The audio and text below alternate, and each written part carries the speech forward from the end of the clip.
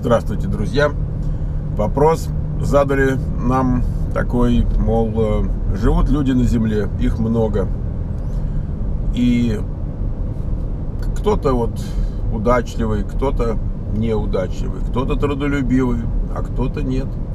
Кто-то оптимистичный, жизнерадостный, а кто-то смурной.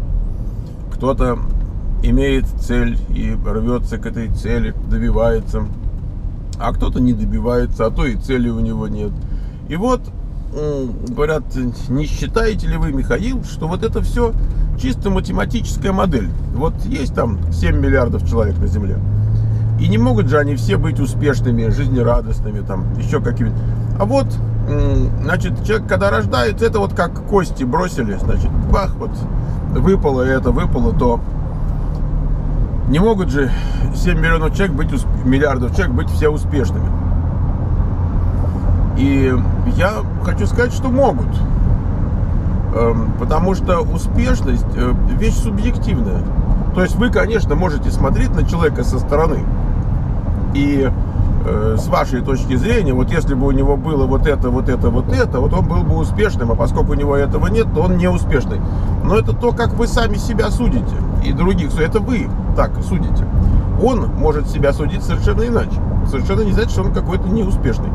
Допустим, мать, которая хотела быть матерью, женщина хотела быть матерью, и она стала матерью, и она занимается своими детьми, и она абсолютно успешный человек. Она может при этом жить в бедности или в богатстве. Это не важно, если она стремилась не к бедности или не к богатству, а стремилась к тому, чтобы быть матерью, чтобы у нее были дети, семья хорошая и так далее, вот она уже успешная. И, э, конечно, сложнее, когда тебе нужно что-то от других людей, чтобы самому быть успешным. Вот, да, это, это сложнее, потому что надо как-то сделать так, чтобы другие люди вдруг стали тебе помогать или как-то участвовать. Это уже более сложный уровень такой успешности. Но я к тому говорю, что не значит, что какое-то количество людей там вот успешны по жизни и больше не будет. И тут еще есть момент очень интересный. Мы сейчас живем в такое время, которого никогда в истории не было вот такого, когда человек может э, реализоваться, самореализоваться, ну, в таких ситуациях, каких, каких ну, просто немыслимо было ни, никогда. Не было возможности самореализоваться человеку, который там, я не знаю, инвалид, или он, э, допустим, там, я не знаю, что, вот какие-то у него там возможности, да, он лишен. Или он родился в таком месте, где никогда не было никаких возможностей. Понимаете, а сейчас уже не важно, где ты родился, у тебя есть выход в интернет. И, пожалуйста, весь мир э, перед тобой. Ты можешь быть абсолютно в любой точке планеты и, скажем, сделать что-то. Ну хорошо, у тебя в стране там нет платежеспособного спроса, но вот выйди в онлайн, пожалуйста, в Америке там продашь. Если есть что. Поэтому э, я не говорю именно заработать, э, я в, широком, в более широком смысле говорю про самореализацию. Э, например, сегодня, э, есть, не знаю, если ты художник, ты можешь там, допустим, в том же интернете, там, допустим, показать себя какой то художник. А раньше тебе для этого нужно было, чтобы тебя сначала там где-то признали, куда-то взяли, пропустили, там и так далее. Ты можешь сегодня делать свои видео, ты можешь сегодня э, написать книгу, повесить ее, будут читать. Вот э, я не, не то чтобы у меня была задача такая написать что-то, но когда я написал что-то, вот на форуме говорим про ЕС висит в таком форумном варианте э, мемуар мой такой, скоро будет отдельной книжкой. Так вот, этот мемуар там больше, чем миллион двести тысяч просмотров. Как, когда люди могли такое? Без цензуры, без редактора, без корректора. Когда это было возможно? Поэтому сегодня, сегодня можно все, но я не знаю насчет того, что совсем все, потому что завтра можно будет еще больше, послезавтра еще больше. Мы даже представить себе не можем, что может быть через какое-то время. Но э, то, что уже сегодня можно, эм, раскрывает какой-то невероятный потенциал для э, людей, которые живут на этой планете. Поэтому, конечно, есть очень много людей сегодня, которые живут в чудовищных условиях. И когда мы говорим про интернет, они, может быть, не, слыш, не слыхали, что есть интернет. или слыхали, но для них это что-то чудовищно далеко и недоступно. Это все правда. Есть очень много стран, где люди живут так, как-то сказать, от голода умирают люди да, сегодня. Такое тоже бывает. Но это же не сравнить с тем, как, допустим, еще сто лет назад, сто лет назад эм, там умирали от эпидемий, умирали от холеры, умирали от э, туберкулеза, умирали от, э, там, я уже не помню, там, э, слава богу, оспы, э, губерниями вымирали, от сифилиса, боже мой, о чем мы говорим. То есть ужас, что творилось. Эм, и Европа опустошалась, население Европы опустошалось от эпидемий, там, скажем, в средние века. Поэтому, конечно, сейчас совсем-совсем другой мир. И я не думаю, что вот, эм, как сказать, вот выпали, кости бросили, вот тебе выпало, вот и, и пожалуйста, и все. И больше тебе ничего не будет. Вот ты старайся, не старайся, делай, не делай. Вот, вот мне эта часть не близка. Я бы сказал, делай, старайся. Значит, больше стараешься, больше делаешь, значит, больше тебе перепадет. То есть ты как бы заказ в этот каталог помещаешь, и тебе из него присылают. Если заказ не помещаешь, значит не присылают. Кто виноват? Ну, тот, кто заказ поместил или не поместил. Вот, все от него. Теперь, я бы еще сказал, может быть, так, эм, я знаю, что многим не близко, но просто чисто как красивая концепция, вот вы отнеситесь.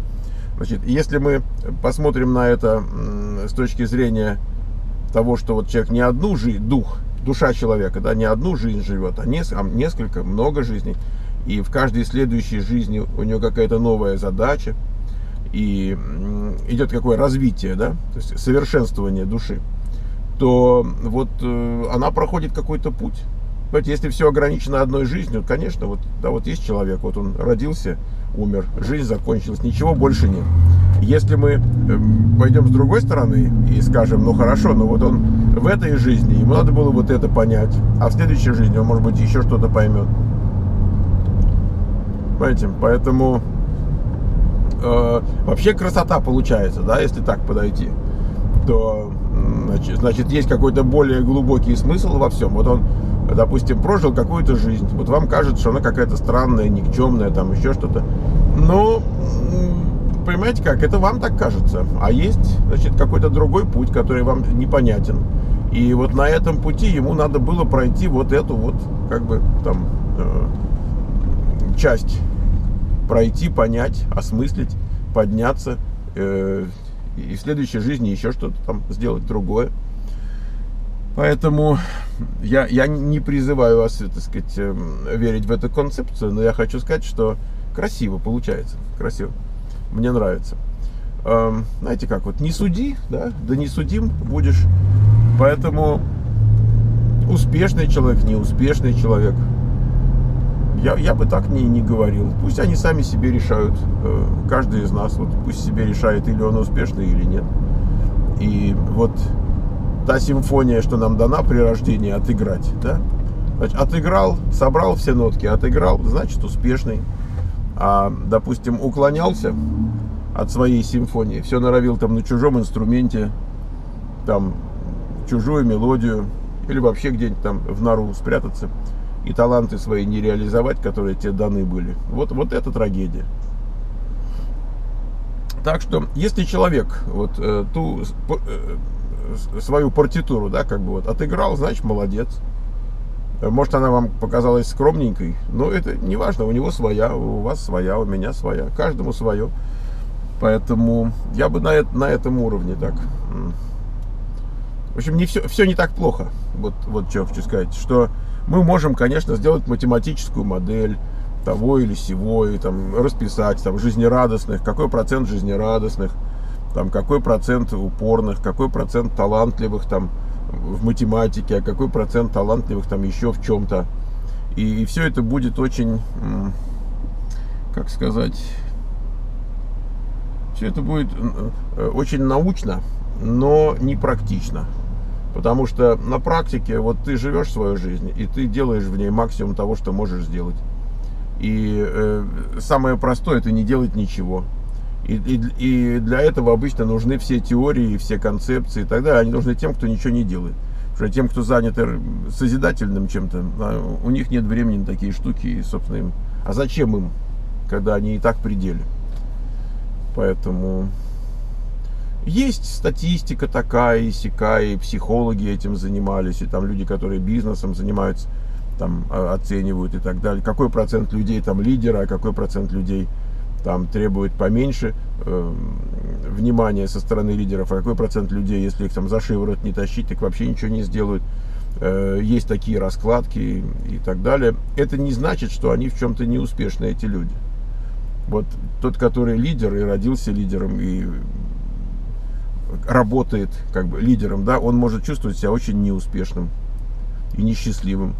А тот, который, казалось бы, уже там совсем ничего, там, не знаю, кайлом там в шахте или там где он там, вот, а, а он счастливый и довольный, и, и самореализованный и так далее. И кто же, кто же тут ему, кто его судить-то будет и зачем? Так что у нас, у нас есть кому судить. Вот он пусть и судит. Вот, а мы так уже собой заниматься надо.